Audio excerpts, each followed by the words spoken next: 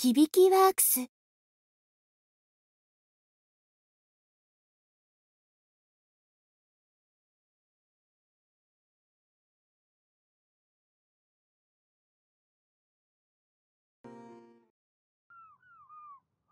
ふう。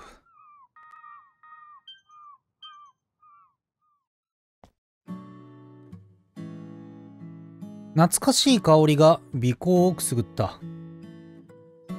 心地よい眩しさに目を細めながら久しぶりの大地の感触を味わう。少し地面が揺れている。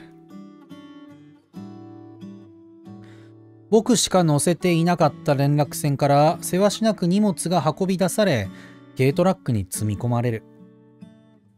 島の人の笑顔は屈託なく思わず僕の顔もほころんでゆく。この島に来るのも随分久しぶりだ。もう何年ぶりになるだろうか。最後に来たのはいつだったか。それすらもはっきりしないほど。医学部受験を意識し始めた頃にはもう休みの日は勉強に当ててばかりになったから、それよりも前ということは、変わってないな、やっぱり。この漁港も、潮の香りも、島の人の笑顔も、昔の記憶のまま、何も変わっていない。変わってないことに感謝したい。はは。水瀬島。小さい頃の楽しい思い出が詰まったことを。僕の幼少期はこの島に集約していた。忘れがたい、とても楽しい時間をこの島で過ごした。母方の親戚が住んでいる関係で、両親の仕事の都合やいろいろな理由から年に数回訪れた。夏休みはまるまるこの島で過ごすなんてこともあった。元気かな、二人とも。あの頃、一緒に寝起きして一日中一緒に遊び回っていたいとこたち。えー、なんて言うんだこれ。若、若よ睡蓮とシオンの姉妹。なんて呼ぶんやろ。僕は今、大学の夏休みを利用してこの島を訪れ、彼女たちが運営しているというコテージを目指している。セミの数も都会とは桁違いだな。耳をつんざくようなセミの声。都会とは違った暑さ、優しい風。美しい外観を眺めながら僕は歩き続ける。子供の頃の記憶を頼りに、えー、姉妹たちの自宅のすぐ近くにあるというコテージを目指して。あれ？幼少期の記憶なんてものはひどく曖昧で、何も変わってないならすぐつけるだろう。そんな甘い認識に後悔し始める。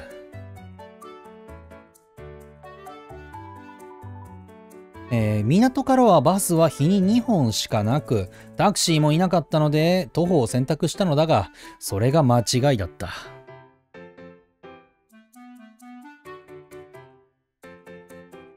僕の脳は地理を詳しくは覚えていなかったようだ。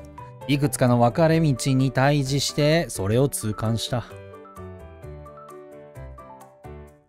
ふと記憶を読み、えー、遡ると、船着き場から、えー、家までは歩きでかなりの距離があったような気がする。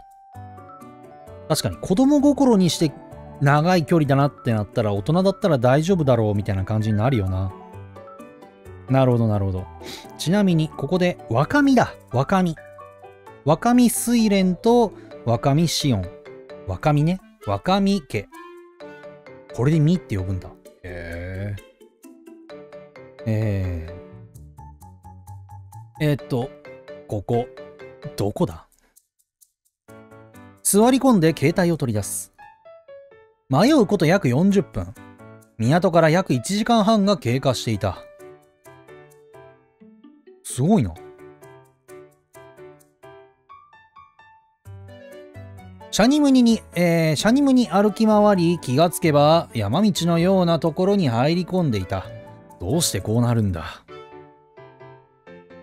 こういう時はとにかく道から外れず上に登って下界を見下ろせば自分のいる位置がわかるかもしれない。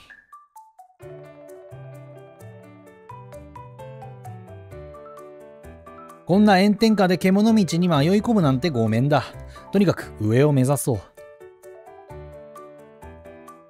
ペットボトルの中身を一口含み、僕は再度歩き始める。ああ、うう。運動不足だな。あ、ちなみに、あのー、お名前は、ラブリーコールってのがありましてね。あの、響きワークスさんがよう使っとるやつなんですが、ラブリーコールっていうので、えー、ヒロインが、その、まあ、決められた、あの、その、テンプレートにある名前だけなんですけど、その、主人公くんの名前を呼んでくれるっていう機能がありまして、本当は、えっ、ー、と、正しい名前なんだったっけな？元の名前が主人公くんにはあったんだけど、えー、うちのチャンネルでは一貫して、あの、ゆうくんになってますんで、ゆうすけ。ゆうすけとして、あの、よほどのことがない限り、あの、設定しておりますので、はい。あの、ゆうくんでいきたいと思いますので、よろしくお願いします。上り坂がきつい。うっそうと生えた見たこともない木や植物。たまに顔にかかる雲の巣やバキッという謎の音にビクビクしながらひたすらに登る。だクモの巣がかかっとるってことは人がしばらく訪れてないってことだから、本当はこの道じゃないなってのは大体わかるんだけどな。さっきから後ろに何かの気配をうっすら感じるけれど、気のせいだろう。きっとそう願う。振り返ってイノシシなんかと目が合ったら僕はどうすればいいのか。静まりたまえと叫べば許してくれるだろうか。イノシシならまだしも、熊や土の子が出ても何もおかしくない雰囲気があることだ。モンスター系とのエンカウントは極力避けたい。急になんかファンタジーになったな。オタクくんってことか？ちょっと BGM 大きいか。えー、っとね、オプション。ちょっとだけ。よいしょ。ちょっとだけ BGM 絞るか。はい。幸い、この島には遭難するほど高い山はなかったはずだ。とにかく頂上付近の見晴らしのいい場所を目指して歩き続けよう。えー、足早に駆け上ること数分。そこには楽園が広がっていた。おお、すごい。僕は運よく展望台らしき場所へとたどり着いたようだ。助かった。ご丁寧に望遠鏡まで設置されている。これはラッキーだ。えー、何やったっけ？物覚えが悪い。えー、っと、若、若見だったっけ？若見だ。若見家やコテージは海沿いにある。これで覗けば運よく見つかるかもしれない。どれどれ？僕は早速レンズを覗いてみることにした。よっと。えー、展望台にある望遠鏡を動かして眼下を見渡す。見回す。えー、屋根、え、ん？母屋の屋根でも見つかればと注意深く目を凝らす。ん？どの辺だったかな？とにかく思いつくままあちこちを眺めた。とはいえ、子供の頃の地理記憶なんて実に曖昧なもの。見覚えのある場所とかピンとくるところも見当たらない。おお。そんな僕の目に真っ青な海と白い砂浜が飛び込んできた。テレビや雑誌のリゾート特集に出てきてもおかしくないような、すごく綺麗な海辺で少し懐かしさも感じる。そういえば昔、あの浜に行ったことがあったはずだ。だとすれば、この近くに目的地はあると思うんだけど、ん？考えながらレンズを覗いていた僕の目にえらいものが飛び込んできた。偉いものだ。おお。思わず変な声が出た。僕の目に映っているのは一人の女性。ちょうど海から上がってきたところだろうか。おい、望遠鏡最強すぎるだろ。豊満な胸、見事なくびれ。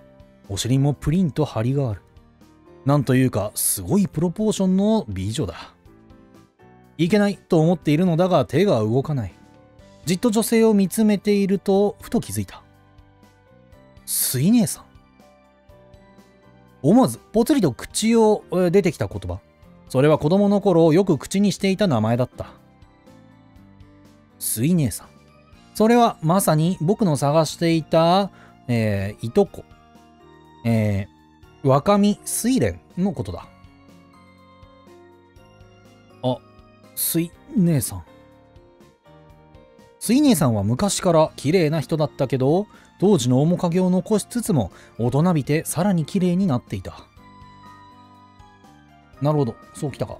右クリックはメニューなんだな。スケベだな ビキニタイプの水着だから結構際どいというか、胸元も見えちゃってるし、お腹とか太ももとかいろいろ。お前、横島な気持ちで帰ってきたんか、この島に。なんてやつだ。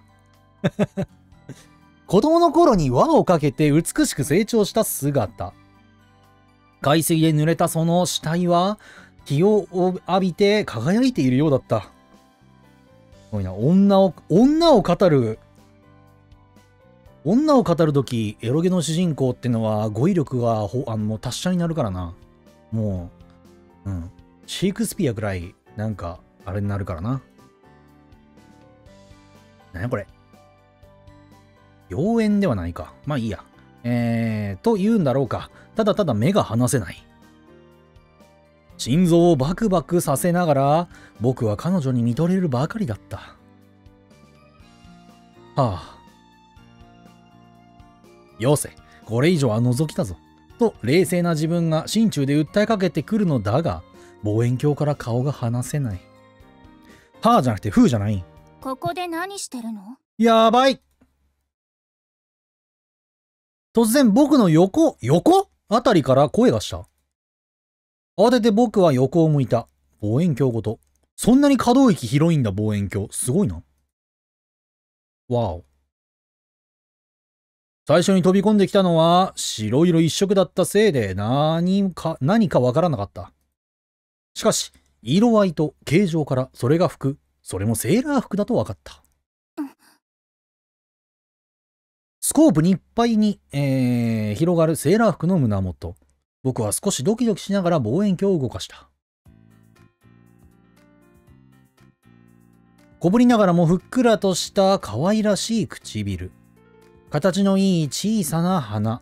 キラキラと輝く大きな瞳と続いて、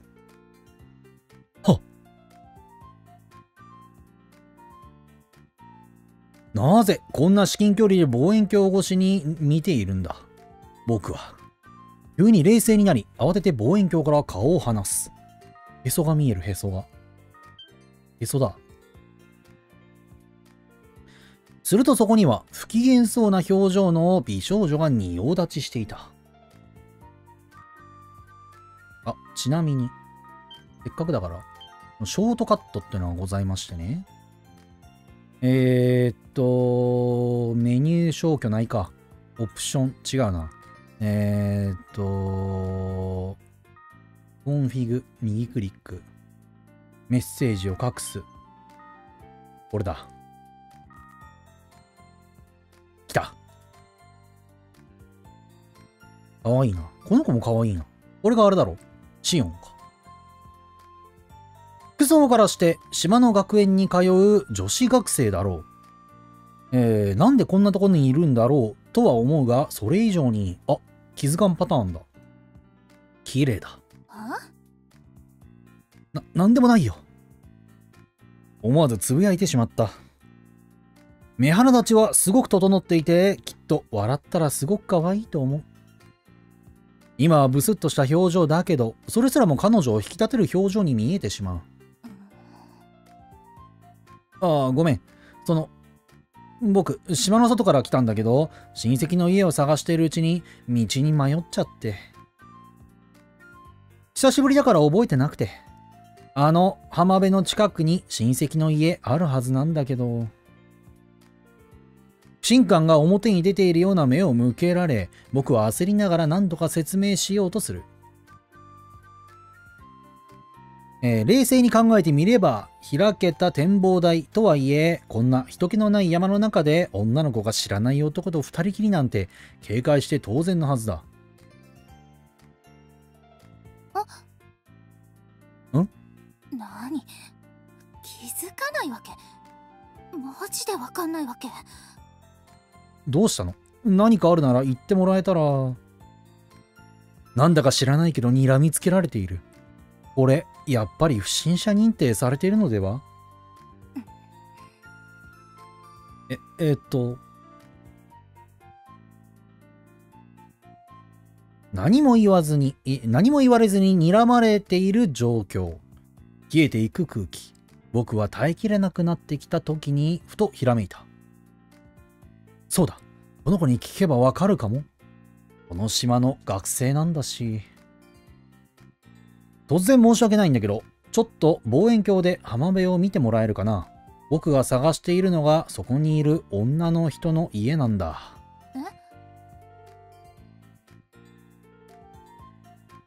覗きを自白したな。僕の指さす望遠鏡を、えー、女の子が怪げそうな顔をしながらも覗き込む。見えるかなえー、若見って名字でコテージをやってるんだ。もし知ってたら家まで、えー、どっちに行けばいいか教えてもらえないかな。それって。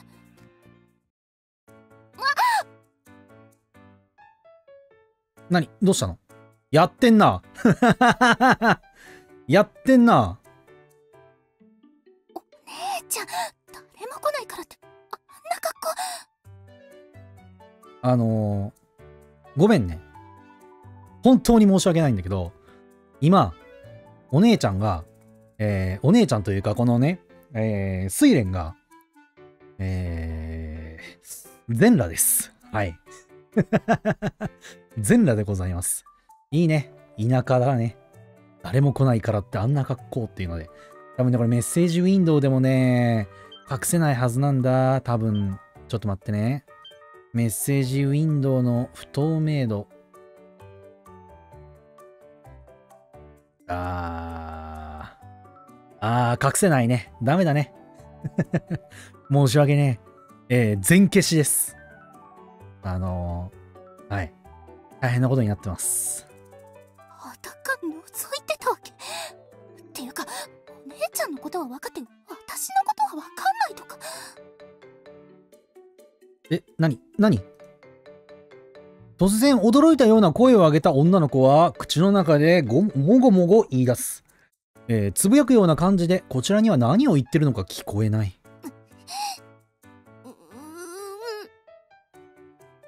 さらに可愛い顔を歪ませながら歯ぎしりまでし始めた。正直ちょっと怖い。えっと、どうしたの？あの、君、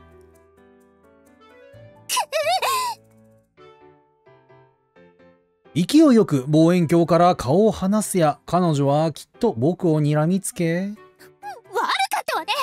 どどうせ私はチンチクリンよ。おっぱいもあんなに大きくないし美人でもないし。でけえし美人だよ。えええ？何が何だかわからないがいきなり自虐しだす。顔には明らかに、えー、あからさまに不機嫌さがにじんでいた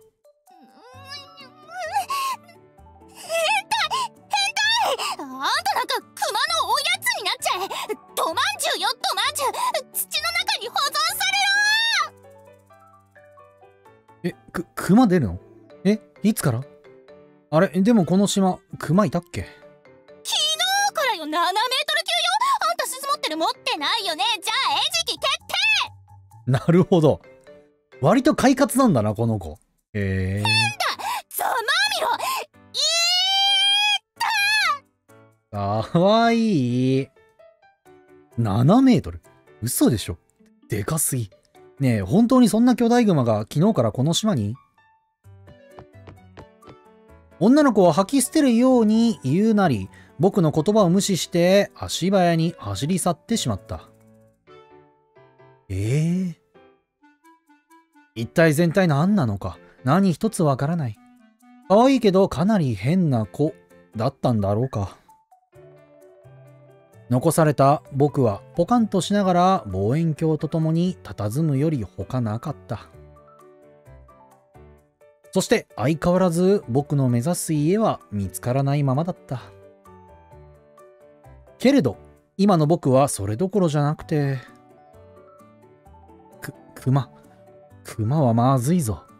やばい。このままじゃ危険だ。早いところを下山せねば。